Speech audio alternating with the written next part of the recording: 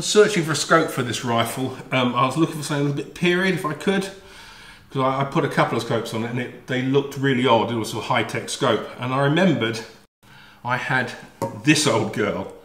It's a Pecar, Germany, Berlin, Champion 8x52. Um, I used to work for the Met Police as an armourer in the um, in the early 80s, and on our district sniping rifles we had Pecars, and they were a good scope. They were nothing too exciting. And this came with a little 2 Magnum lever action I bought off a ex-gamekeeper. And it just came with a rifle, I wasn't looking at it, and I just kept the scope. And um, I thought this looks quite period. And also, if you you do need high mount, otherwise you have to remove the rear sight and scope mounting gets awkward.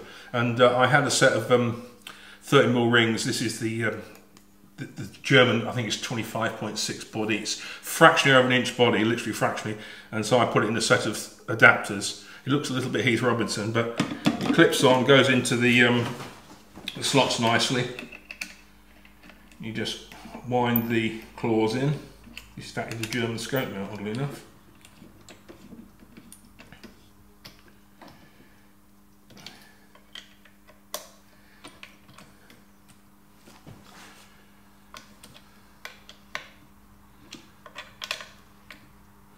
and that's it on. Um, as you can see, it clears the rear sight. Um, it's just got a plain dual X reticle, medium thick.